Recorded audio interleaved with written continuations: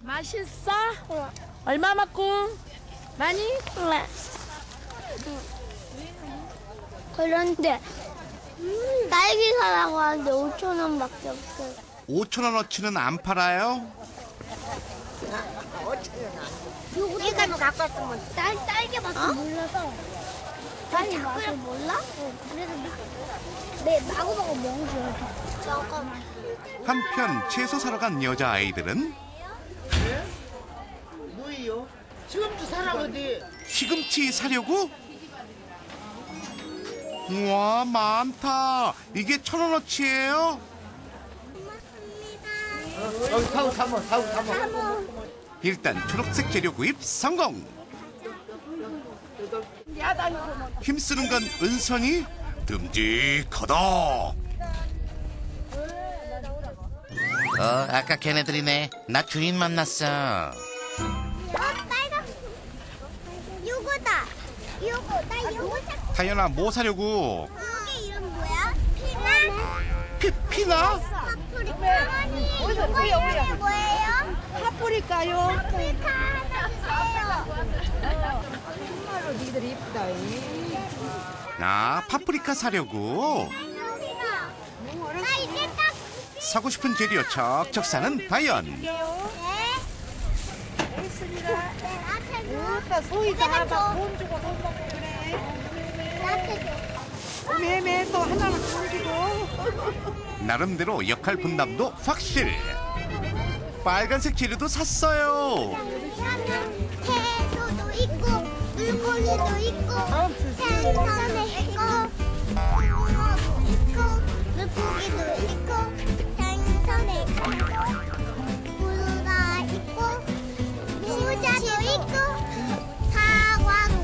그나저나 과일 사러 간 희원이와 대규는 바나나 4,000원이다 4,000원?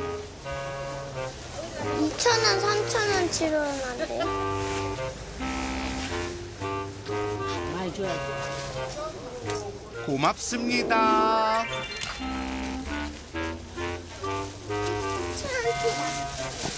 먹어라. 고맙습니다. 잘 먹어라.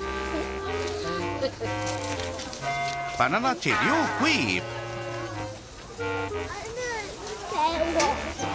대기야 빨리 와. 아니 근데 얘들아 마트에는 왜 가는 거야? 들어가. 초콜릿 사려고? 이거 사자. 아니 재료 사라고 했더니. 군것질하는 거야 어쨌든 남자아이들도 두 가지 재료 구입 양손은 무겁게 발걸음은 가볍게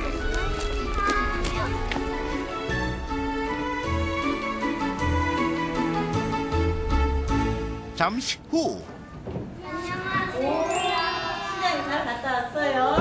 오, 많이 사왔어요? 그래, 사온 걸 가지고 수세로 한번 만들어 볼까요? 오 자신 있나 본데 자 그럼 구입한 재료 좀 살펴볼까 네. 바나나는 어떤 색깔이 날 것 같아?